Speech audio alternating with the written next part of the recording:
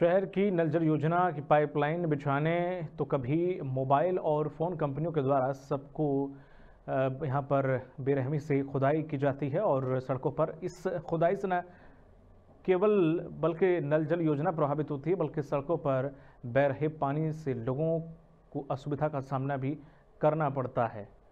और हम बात कर रही हैं रायसेन की, जहाँ पर वर्तमान में गैल गैस कंपनी कॉलोनियों में घर घर गैस पाइपलाइन बिछा रही है। जिसके लिए कहीं ओपन तो कहीं अंडरग्राउंड, जैसे पाइपलाइन के लिए जेसीबी मशीनों से खुदाई की जा रही है।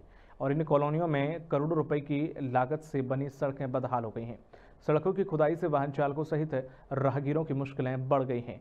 वर्तमान में रायसेन शहर के पटेल नगर, शिवोम नगर और संस्कार विहार कॉलोनी की सड़कें खराब हो गई हैं। और रहवासियों का कहना है कि इससे सड़कों की खुदाई से नल जल योजना भी प्रभावित हो रही है।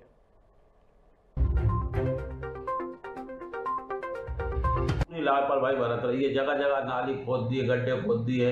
लोगों को इतनी परेशानी हो रही है कि मैं बता नहीं सकता। बच्चे स्कूल जा रहा है, गिर पड़ रहा है और बहुत ही परेशानी का सामना करना पड़ रहा है। अभी तक कोई काम नहीं हुआ, सबसे शिकायत कर दी, मौन रखे हुए हैं। कोई जवाब देने वाला कोई ज़िम्मेदारी नहीं ले रहा।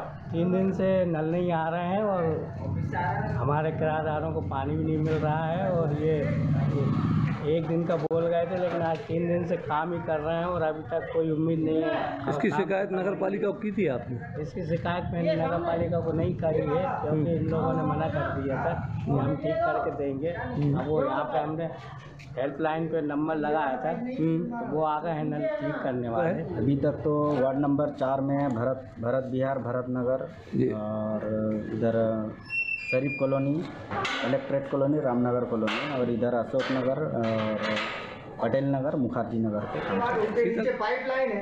पाइपलाइन जब खोदी जाती है तो मेरा ऐसा कहना है कि नगर पालिका के जिम्मेदार अधिकारी जल प्रभारी सीएमओ को वहाँ मौजूद होना चाहिए। वो तो काम करके छोड़ देते हैं अपनी गैस लाइन। लेकिन उससे जनता को होने वाली परेशानी पाइप के माध्यम से फूटने के माध्यम से जो जल प्रभावित होती है वो जनता को सामना करना पड़ता है।